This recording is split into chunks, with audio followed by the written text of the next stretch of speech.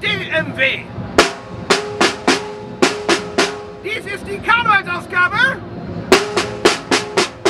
der Wocheneinfo. Ich habe für Sie die Sensationsmeldungen der vergangenen Woche für Sie parat.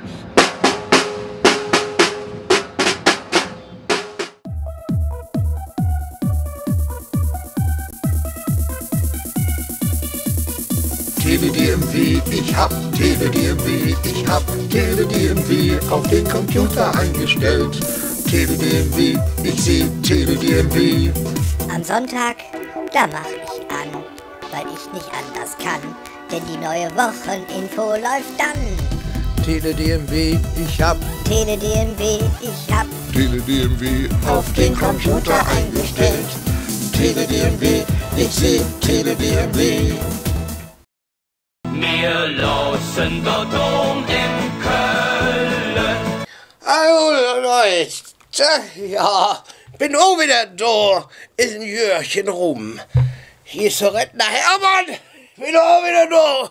Jungs, ich sitz nicht gut. Ich habe mich jetzt, muss ich auch an.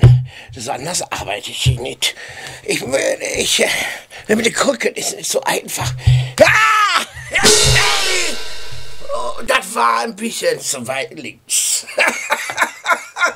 da krieg ich einen Tusch für, oder? Oh, oh, oh ja, wir haben ja wieder Karneval und ich soll hier eine Meldung vorlesen. Ich kriege jetzt ab. Ja, dafür sind die Krücken gut. Oh, Jungs, ich sag Arbeit, statt gewusst. So, jetzt handelt er aber jetzt den Platz gefunden. Zuerst war ich ein bisschen aus der Puste. Zuerst war ich ja im falschen Studio, eine falsche Tür. Ja, da war ich bei DMW live. Da saß der DMW hinten, hat mich rausgeschmissen. Ich stink so nach Alkohol, was ich da zu suchen hätte. Äh, Ich nicht mal lesen könnte. Natürlich kann ich lesen. Aber nur wenn ich ein gutes Schnäpschen noch gleich krieg hier. Dann kann ich gut. Ne, Jungs? Das machen wir doch. Das wollen wir mal kicken, was wir hier haben. Jetzt habe ich jetzt, brauche jetzt mal ein Schlückchen. Oh, oh ja. Ich habe eine neue Übung. Flaschen darf man nur noch auf Ex. Auf Ex darf man die nur noch runtertrinken. Egal was es ist, dann bist du ein ganzer Kerl. So, Jungs, wollen wir noch mal hier gucken, was der Hermann hier für eine Meldung hat. Oh, Junge, Junge, das war ein Unfall. Oh, und, und dann ist ein Kollege von mir gewesen. Oh, für einen Unfall auf der A1 legte der Fahrer eine kleine Trinkpause ein. Das heißt, er macht mal eben einen Unfall und dann darf man auch weiter trinken. Ne? So, äh, Trinkpause, das ist eine gute Idee. Die Flasche ist leer. Dann äh, kommen wir jetzt mal an das Eingemachte. Wodka kommt hier auch ganz gut, ne? So. Also. ah. Jetzt geht es. Jetzt habe ich einen Druck. Jetzt klappt es. So. Auch auf der Lennepost. Hasse standen am Dienstag, ja, scharfes Zeug, den 6. Februar 24 im Feierabendverkehr viele Autofahrer im Stau.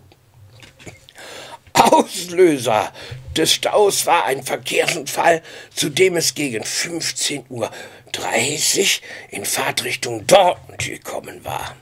500 Meter nach der Anschlussstelle Remscheid geriet ein Citroën-Fahrer ins Schleudern. Ui, Ach so, war... ja, Oh, Jungs, das, hier- das war jetzt hier. Oh, der sturzbetrunkene Wuppertaler, der eine Frau auf dem Beifahrersitz und zu dem sein Sohn im Auto sitzen hatte, krachte zunächst nach rechts gegen die Leitplanke. Aua, das war zu viel. Oh, oh, oh, oh. oh. Scheiße. Das klar. Oh, Scheiße. Oh, oh, oh, oh. oh. oh, oh.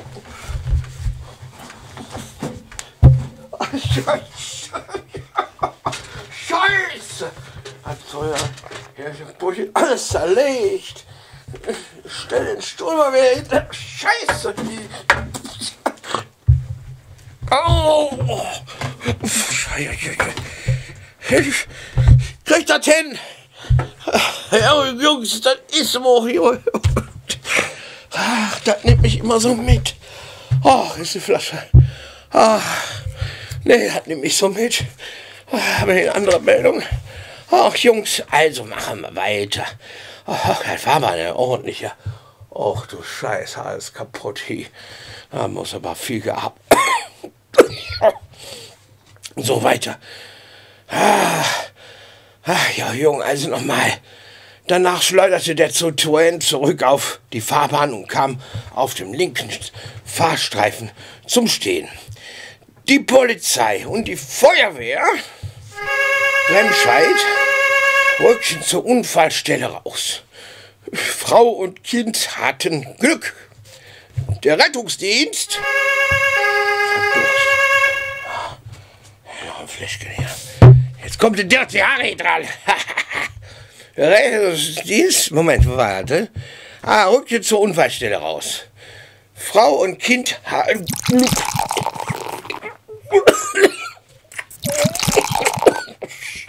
Nicht trinken und husten. Der Rettungsdienst sprach später von einem Leichtverletzten. Allerdings trafen die Einkräfte später nur auf einen Fahrer, der erheblich so was wie ich Dirty Harry und Wodka und Bierchen getrunken hatte, alhositiert war. Ne? Er soll zum allgemeinen Erstaunen dem Helfer auch nach dem Unfall am Ort und Stelle noch weiter getrunken haben. Kann ich auch. Jetzt haben wir hier noch ein Pfefferminzlikörchen. Zum Wohl!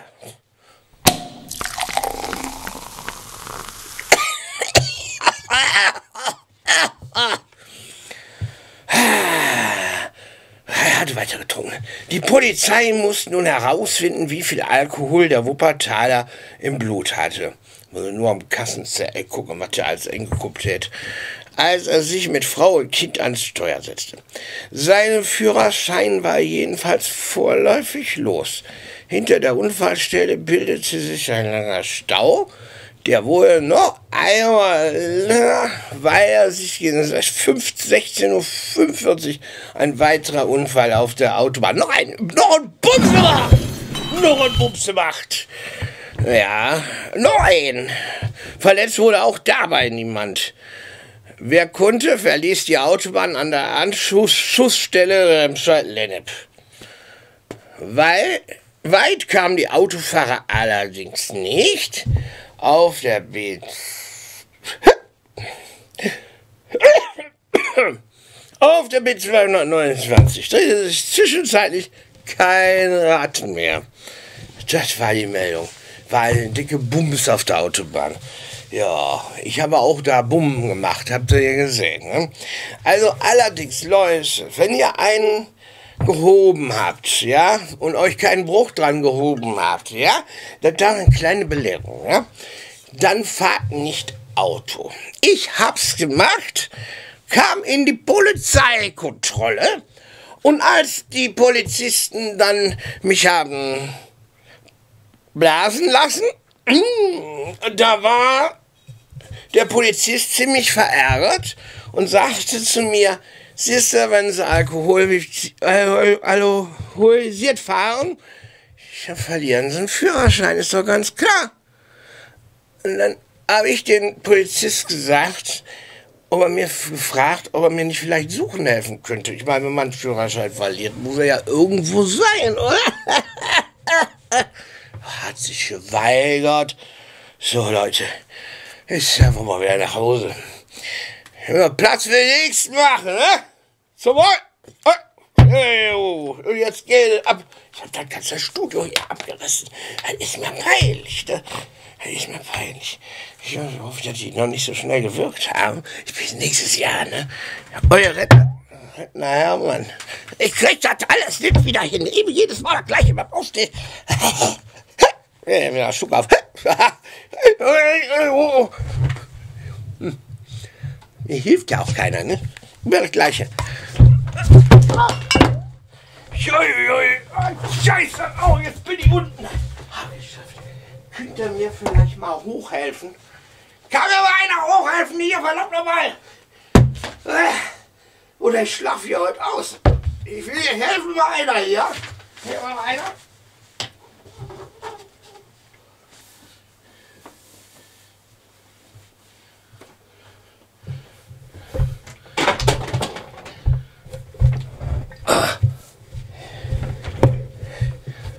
Ja, ich helfe dir. Pass auf. Komm mal mit. Ja. Hier lang.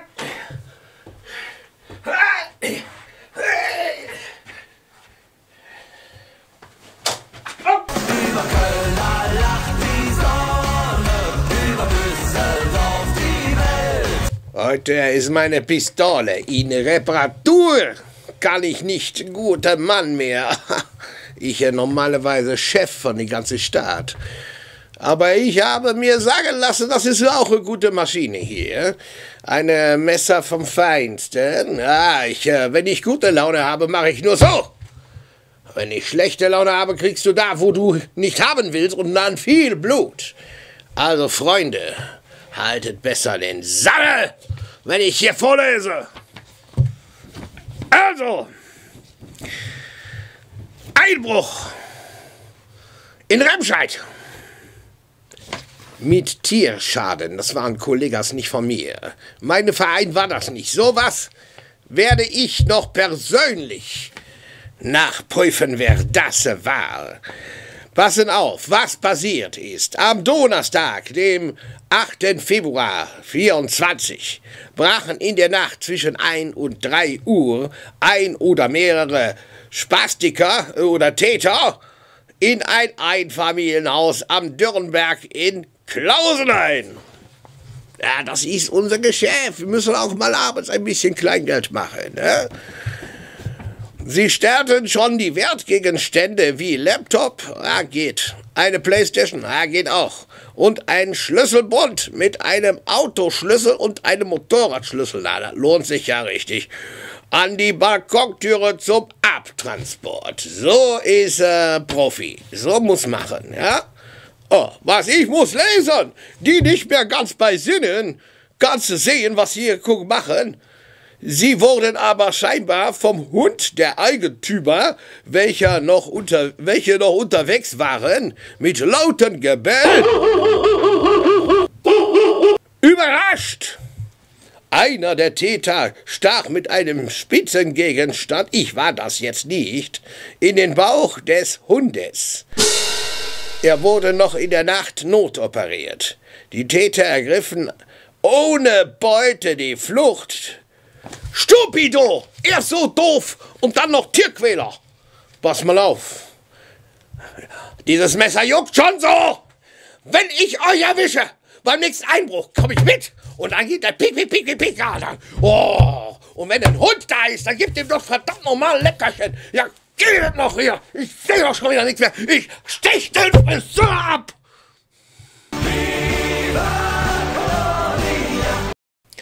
Im Namen des Remscheller Fernsehen von dem Spaßbauer-Kanal und DMW Live. Amen.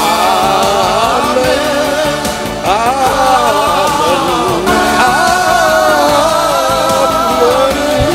So sagt es schon Raffi Deutscher. Liebe Brüder und Schwester, Schwestern, ich muss feststellen, dass es immer wieder schwarze Schafe unter euch gibt, die im Auto sitzen und die Musik zu laut machen und den Gegenverkehr schwer gefährden. Auch das ist in Remscheid vorgekommen und die Meldung werde ich Ihnen sofort vorlesen. Moment, haben wir gleich. Ah. Am Montag, dem 5. Februar 24, musste gegen 18 Uhr ein Pkw einem anderen Verkehrsteilnehmer ausweichen und kamen von der Fahrbahn ab. Als 20, ein 20-jähriger Mann fuhr mit seinem Ford Fiesta auf der B229 in Richtung Westen, als in Höhe der Bundes äh, Bushaltestelle Wassermühle ein entgegenkommender dunkler Pkw auf der Gegenspur zum Überholen ausscherte. Um einen frontalen Zusammenstoß zu verhindern, musste der 20-Jährige mit dem Ford auf den recht, rechtzeitigen Grünstreifen ausweichen und kollidierte dort mit zwei Pfosten. Der Fahrzeugführer blieb unverletzt. Die dunkle Limousine entfernte sich unmittelbar in Richtung Osten. Der Sachschaden liegt bei circa 5000 Euro, die besser in meinem Klingelbeutel gelandet wären. Die heutige Kollekte geht für verfolgte geht an verfolgte Piratensenderbetreiber, die von der Bundesnetzagentur ausgehoben wurden und so in Schieflage geraten sind. Meine Herren und Damen, bleiben Sie ein treues Schaf, dem Remscheider Fernsehen Tele DMW. Nur hier ist das wahre Leben. Amen. Es war in Königswinter.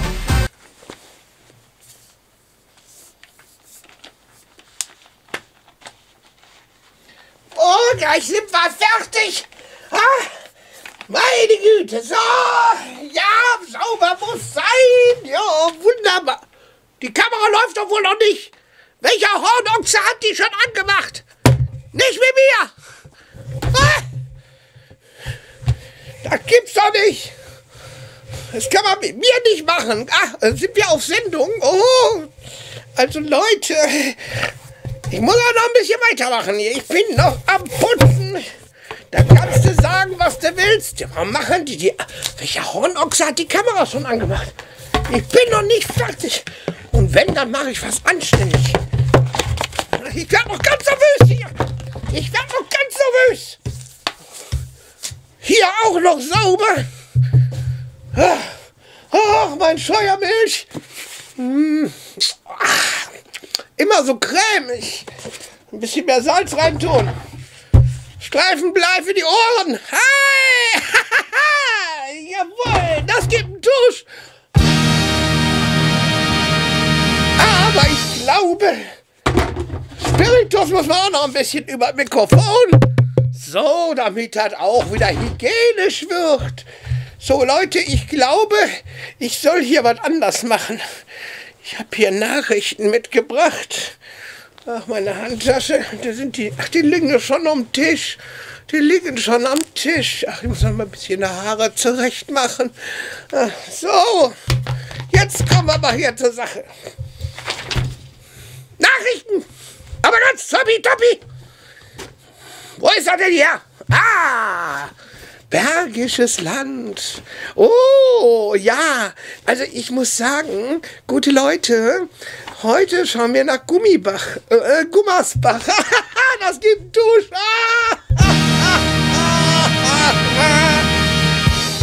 so. Also für die Polizei öffnete er nicht die Türe. Nicht mal die Handtasche. Nein! Also, am Donnerstag, dem 8. Februar, kam es am späten Abend in Gummersbach zu einem Auffahrunfall an einer Ampel. Dabei erlitt die Beifahrerin des vorausfahrenden Autos leichte Verätzungen, Verletzungen. Unmittelbar nach dem Unfall flüchtete, flüchtete der mutmaßliche Unfallverursacher vom Unfall. Oh, doch, ist das schön. Und dann, was hat er denn dann gemacht? Och, herrlich, hui, der flüchtige 39-jährige Bergneustädter konnte durch die Polizei oh, in unmittelbarer Nähe der Autobahnanschlussstelle Gummersbach festgestellt werden, missachtete jedoch die Anhaltezeichen der Beamten und flüchtete über die Autobahn 4 in Richtung Köln. In Höhe der, des Kreuzes Köln-Ost kollidierte er mit zwei Streifenwagen. Das muss ja lohnen. Verletzt wurde hierbei niemand. Unbedingt, unfallbedingt war einer der Streifenwagen jedoch nicht mehr fahrbereit, hatte er also einen vom Hals. Da der Flüchtige sich nach dem Unfall in seinem Auto einschloss und dieses nicht freiwillig verlassen wollte, hätte ich auch nicht gemacht. Ähm, ja, mussten die Beamten vor Ort eine Seitenscheibe einschlagen, also entglasen, um ihn unter erheblicher Gegenwehr aus dem Auto herauszuholen. Nach ersten Schätzungen beläuft sich der verursachte Gesamtschaden auf ca. 30.000 Euro. Der Unfallflüchtige war im Besitz einer gültigen, kein, war doch im Besitz einer gültigen Fahrerlaubnis. Nee, war auch nicht. Nee, hatte, hatte er schon längst nicht mehr. Nee, nee, der hatte keinen Führerschein und stand erkenntlich unter Einfluss von Alkohol.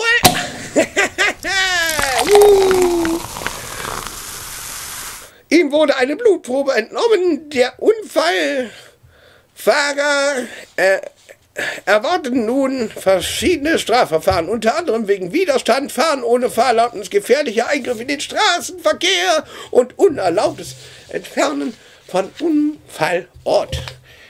So, jetzt können wir weiter sauber machen, wenn wir schon so ein bisschen beim Verkehr sind. Jetzt kommen die Verkehrsmeldungen.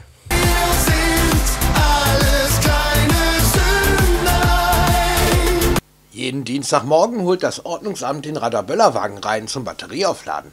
Jeden Mittwochmorgen sind die vor uns auf der Flucht. Die wollen den neu verstecken. Aber wir sind auf der Spur. Wir wollen schließlich wissen, wo er ist. Und die Zuschauer erst recht. Leider gewinnt manchmal das Ordnungsamt das Spielchen. Und wir kriegen nicht raus, wo er ist. Schuld zum Beispiel ist eine dumme Ampel. Sollten Sie wissen, wo dieser Wagen hingekommen ist, dann rufen Sie unsere Hotline an unter folgender Nummer. 0179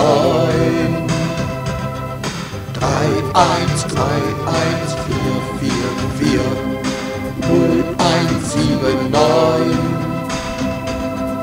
3131444 Bis März 2024 gibt es an der Kreuzung Vieringhausen eine Baustellenampel, die sorgt mächtig für Ärger und für riesigen Rückstau. Wer meint, über die Stockterstraße hier reinfahren zu müssen, der wird genauso im Stau stehen und verzweifelt sein. Werktags ab 6.30 Uhr geht es los. Dann läuft hier nicht mehr viel, dann kriecht hier alles nur noch oder steht alles still.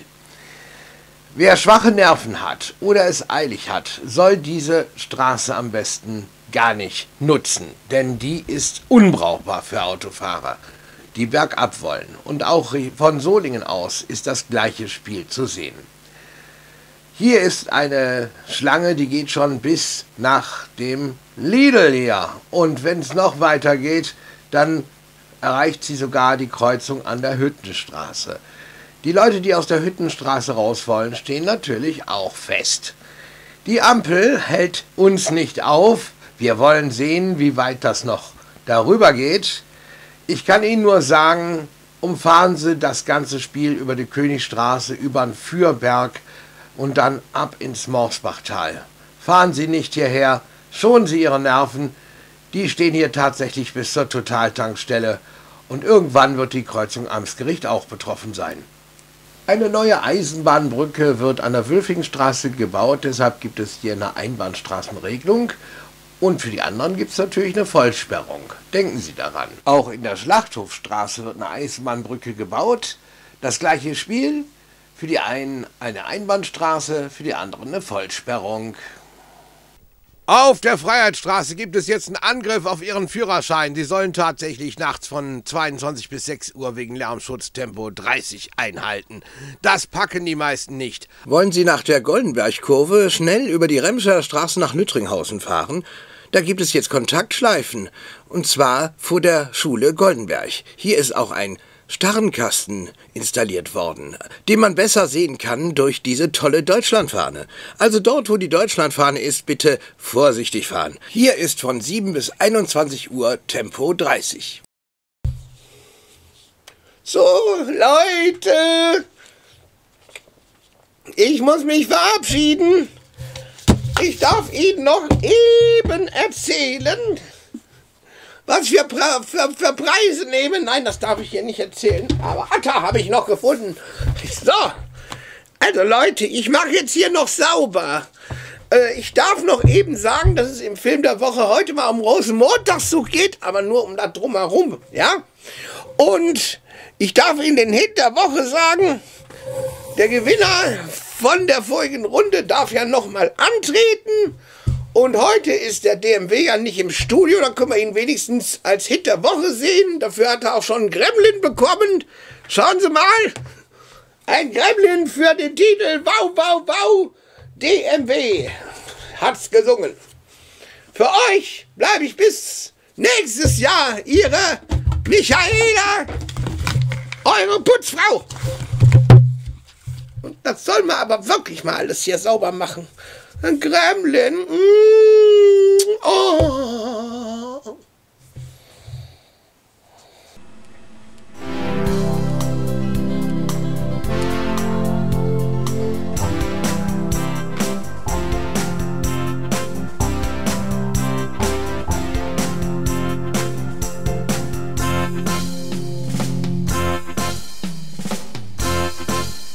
Hier ist das Remscheider Fernsehen, Tele DMW.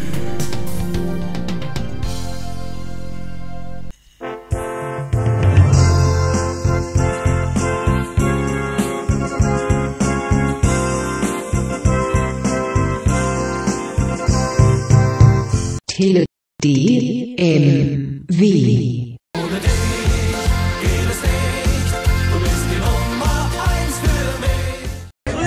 Alle vom Remscheider Fernsehen. Mein Name Jürgen Drews. Kornblumen, oder? Und wir waren wie Vampire. Ich wusste immer schon Remscheid. Remscheid weiß Bescheid. Remscheider Fernsehen.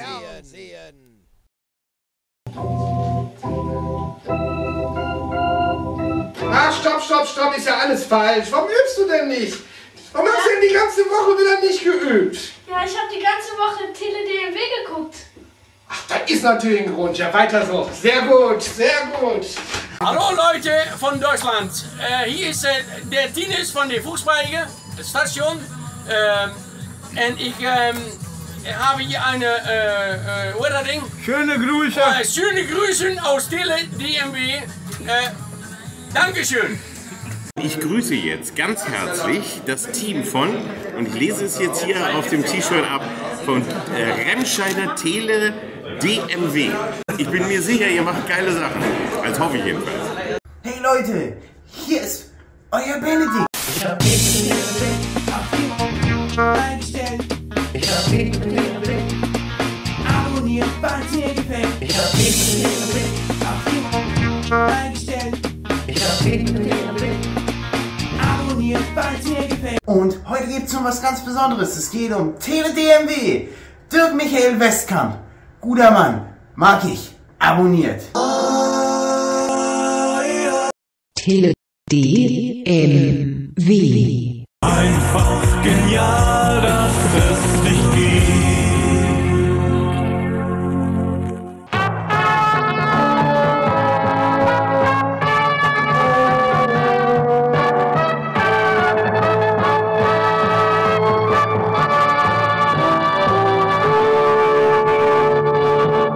Heute wollen wir uns mal den Karnevalszug in Remscheid-Lennep angucken. Am Rosenmontag, einen Tag nach Redaktionsschluss, waren wir dort. Mit dem Unterschied, dass wir uns den Zug mal von hinten anschauen. Und zwar vom Startplatz an der Mühlenstraße. Hinten zuerst zu sehen, selbstverständlich, die Müllwagen. Und, was haben wir noch? Die Karnevalswagen natürlich. Die Leute warten, dass sie endlich losfahren können. Die Stimmung ist gut. Aber es ist noch recht langweilig, man steht auf der Stelle. Die Strecke ist recht kurz, die sie zurücklegen müssen. von der Mühlenstraße bis zur Kölner Straße. Weiter ist das nicht. Und wir schauen uns einfach mal an, was da so alles abgeht. Viele Wagen waren es nicht, man schätzt 10 bis 20. Und das gängige Lied war Und ich flieg, flieg, flieg. Heute ist so ein schöner Tag. Schauen wir uns das doch mal an. Heute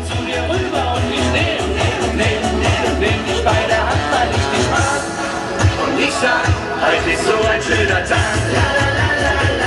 Heute ist so ein schöner Tag.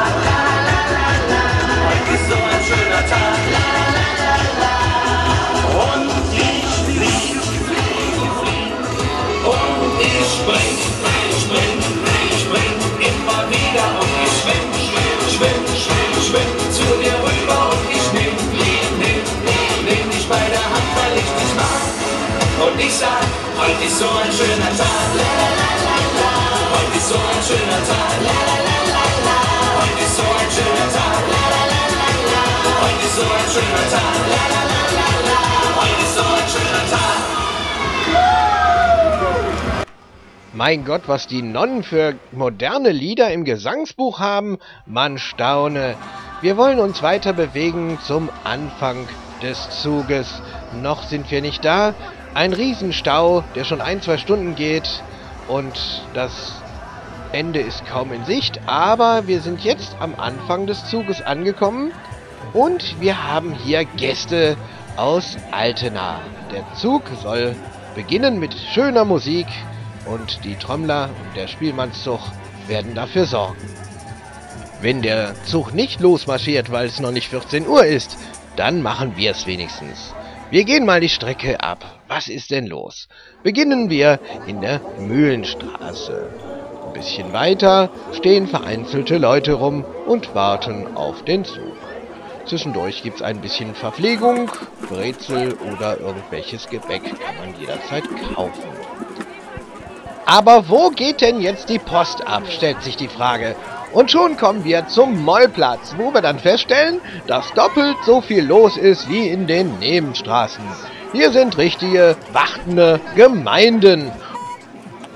Für Verpflegung wird gesorgt, kleine Stände reichen gerne mal was weiter. Und äh, die Leute hier, die warten garantiert nicht am Bus. Und jetzt schauen wir mal rüber zum Bismarckplatz, dort soll die Post abgehen. Redest doch an.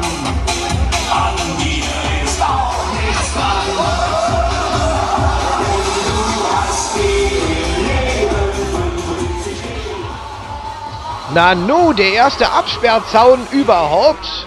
Damit hat man sehr gespart scheinbar. Jetzt müssen wir mal durchs Gewühle. Hier am Hertie, am ehemaligen, dort ist so viel los wie in Köln. Man kommt kaum durch das Gewühle, wie man sieht. Man muss sich förmlich da durchboxen. Und äh, wenn man mal irgendwann diese Kölner Straße durch hat, ja, was sieht man dann? Das Ende der Wegstrecke. Hier geht's nämlich nicht mehr weiter. Fassen wir nochmal zusammen. Am Bismarckplatz bekommt man das Kölner Feeling. Hier geht die Post ab, hier ist es voll. Wenn Sie auf eine andere Strecke gehen, in die Nebenstraßen zum Beispiel, dann können Sie gut was mitbekommen vom Zug. Und jetzt noch ein paar Hintergrundinformationen. Die Stadt Remscheid hat zuerst die Rosbadstraße gesperrt mit äh, Verkehrsschildern, die das Parken nicht erlaubt. Fürs Parken wird nicht gesorgt, im Gegenteil, das Parkhaus wurde absichtlich noch gesperrt. Und die Verkehrsschilder, wie wir in der letzten Sendung schon berichtet haben, wurden ganz schnell noch auf der Kölner Straße aufgestellt.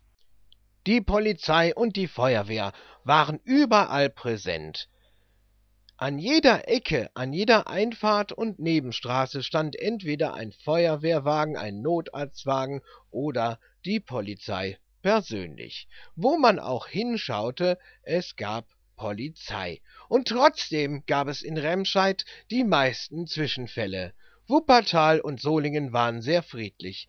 Doch im Raum Bismarckplatz am ehemaligen Hertie gab es eine schwere Schlägerei unangenehm für den Notarzt, der muss dann durch die Menschenmenge. Und das ist gar nicht so einfach, wenn man durch die vollbesetzte Kölner Straße sich quetschen muss als Rettungswagen. Und das kann natürlich ein bisschen dauern. Verschiedene Festnahmen gab es, soviel ich weiß, elf und eine dicke Schlägerei am Zentrum des Karnevals beim Hertie-Gebäude. Nur wenige Meter weiter steht die Bereitschaftspolizei in der Wupperstraße, ohne Nummernschild, total verdreckt. Dafür bekommt man normalerweise ein Knöllchen, denn diese Karnevalsdekoration ist nicht erlaubt.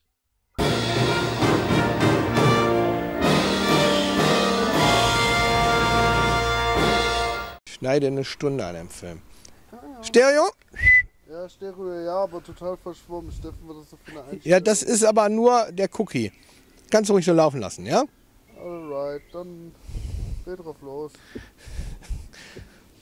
Ja? Ich bin ganz. Der, der, der macht doch eine Kerze. Das sieht so bescheuert aus.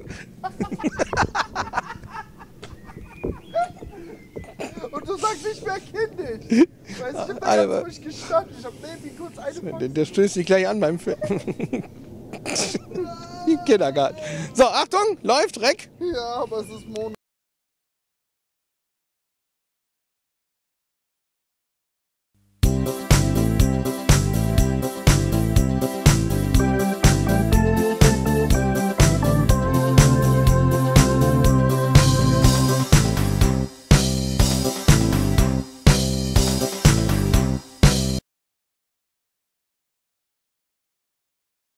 Hallo, liebe Leute. Hallo, liebe Zuschauer. Hier ist gutes Wetter. Ich fühle mich hier wohl. Aber wir wollen mal zum Sendeschluss nicht ganz so albern werden. Ich habe nämlich noch einen Spruch der Woche für Sie, der von einem doppelt so blöden Kommentar von der Nordsee beantwortet wird. Er lautet heute, der Apfel fällt nicht weit vom Stamm. Bitteschön.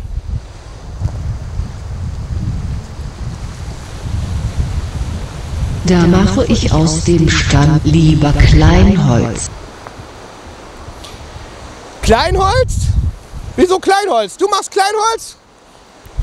Schlägst du mit Wasser um dich oder was?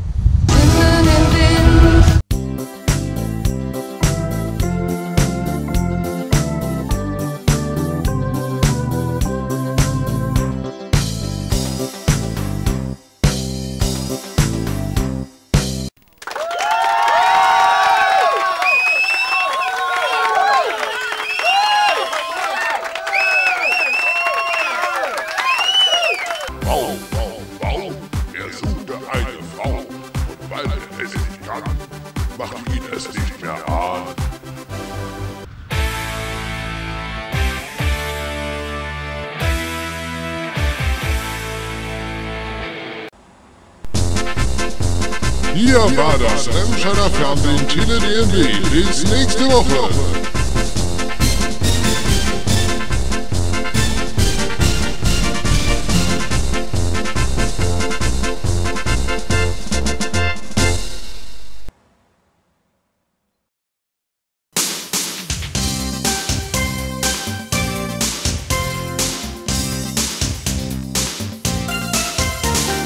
Null eins sieben neun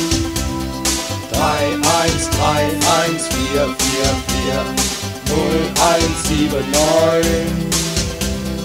3, 1, 3, 1, 4, 4, 4, 0, 1, 7, 9, 3, 1, 3, 1, 4, 4, 4, man ruft an mit einem Gedanken und die Relation geht an. Man ruft an mit einem Gedanken und die Relation geht an. 0179 3131 444